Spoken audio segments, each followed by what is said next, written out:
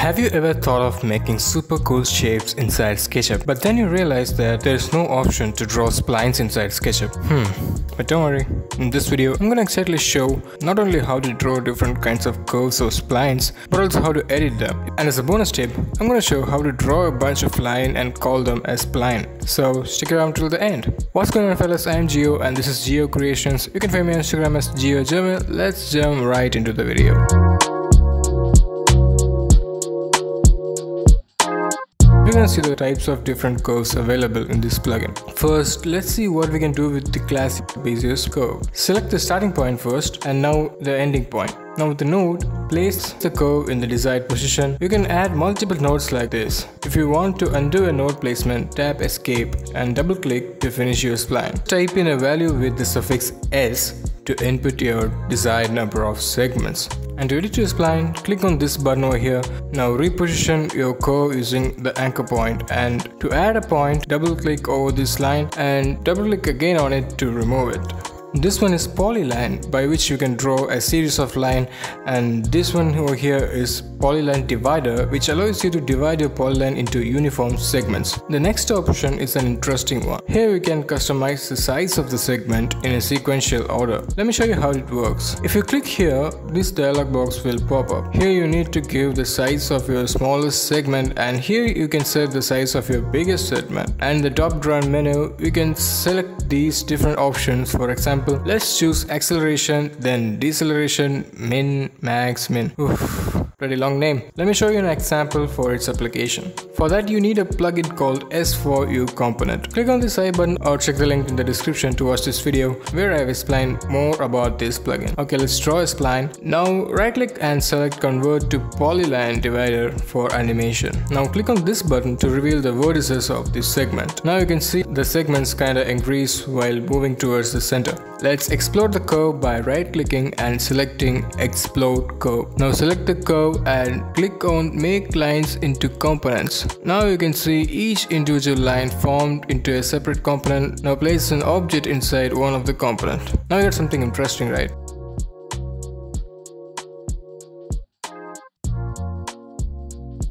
Let's move on to the next option. Polyline with arc corners. This one creates a fillet with your given radius on each intersection point. Likewise, polyline chamfer is almost the same like the last option. Instead of fillet, this one creates a chamfer. This one over here is courbette. It increases the radius of the arc relative to the distance from the last point, thus creating a spiral. Now let's see about uniform B-spline. This tool will maintain a constant curve radius regardless of the position of your anchor points. And now let's see the three main splines of this plugin. Catmull spline, cubic Bezier curve and F-spline. All three of them almost looks the same, but there is a slight difference in the radius of the curvature. The Catmull spline has a sharp curve, cubic Bezier curve has a slight increase in the curve radius, and the F-spline has a slight bend towards the opposite direction of the curve, thus creating a smooth natural bend. Let's place all the three of them over one another to see the difference. Alright, let's see about dog bone corners and T-bone corners. Dog bone corner distributes the radius evenly to adjacent lines and the T-bone creates the curve of the given radius towards the largest side of the intersection.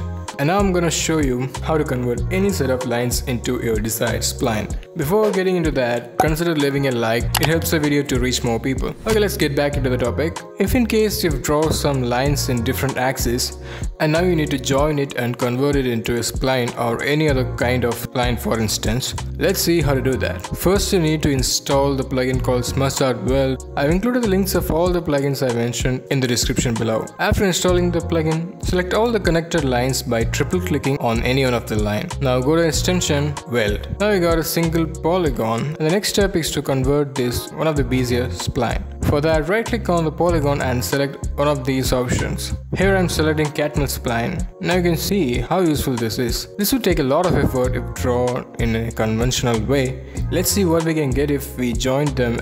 And to create a smooth loop like this, go to edit and click this button to close the hard edge, click on this button and convert it into a surface using the weaving option of Curviloft.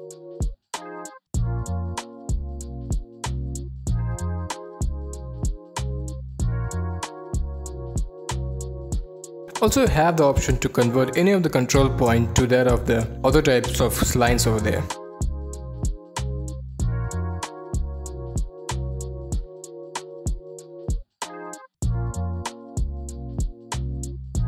Now share this video with someone facing the same struggles as yours. If you learned something new today, consider joining the community by subscribing to the channel. You can always clear your doubts and suggest topic in the comment section. I'm already covering topic based on your suggestions, so you can feel like it's your own tribe. And signing off for now, catch you guys in the next video. See ya.